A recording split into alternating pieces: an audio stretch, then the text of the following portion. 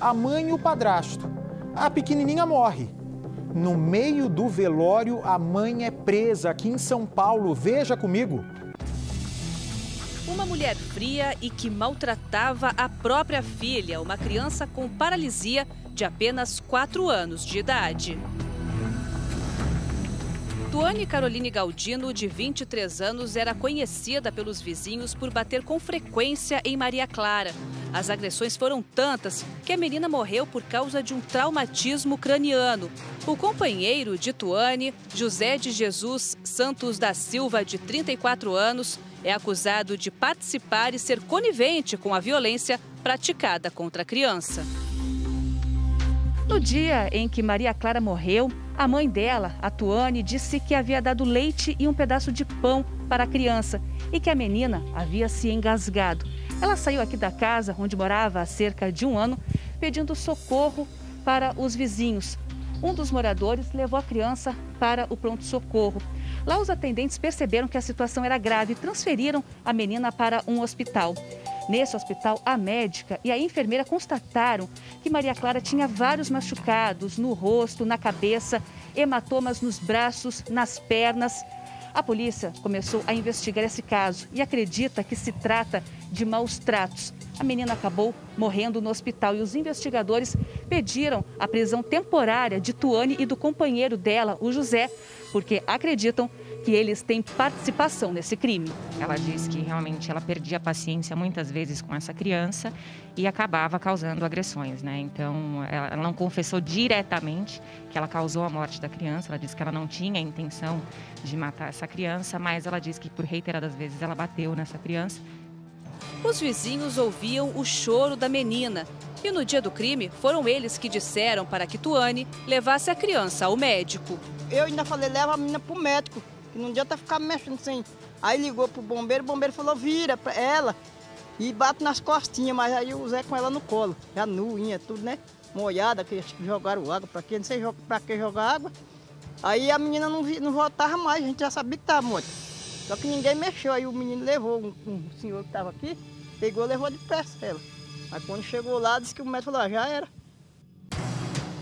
Segundo Dona Maria, os sinais de maus tratos eram visíveis.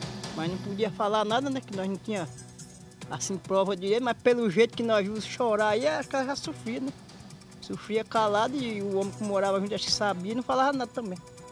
Maria Clara também tinha sinais de abuso sexual. Tuane e José foram detidos ainda no velório da criança. Desde que nós é, tivemos a notícia desse crime, nós já representamos pela prisão temporária deles e instauramos inquérito policial e eles foram presos. E já no momento da prisão, por conta de todas as circunstâncias e dos elementos que a gente tinha, eu já indiciei os dois em homicídio triplamente qualificado. Em um primeiro momento, a Tuane tentou justificar os machucados da criança. Disse que Maria Clara caía da cadeira onde ficava e que se arrastava pelo chão. Como o piso da casa onde moravam é de cimento, a menina ficava com o corpo todo machucado. Depois, ela confessou as agressões. Disse que batia em Maria Clara desde que a criança tinha um ano e oito meses, porque não tinha a menor paciência com a criança. Tuane disse que o companheiro José não teve participação nenhuma nesse crime. Só que no dia em que Maria Clara morreu, a polícia descobriu que foi o José quem pegou um pedaço de pão e colocou na boca da criança para tentar simular um engasgo. O José, ele convive com a Tuane há cerca de um ano.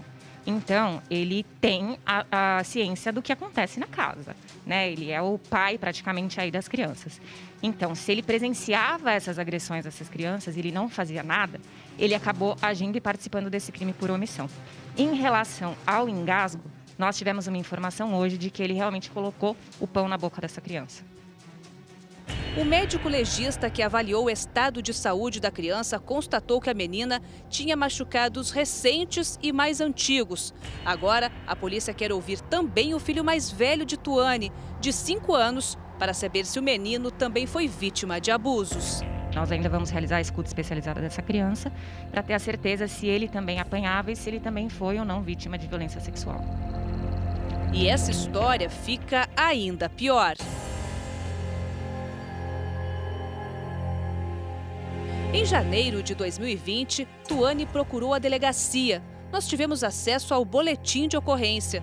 Tuane denunciou que os dois filhos eram fruto de estupros praticados pelo pai dela, Edivaldo Galdino da Silva, de 44 anos.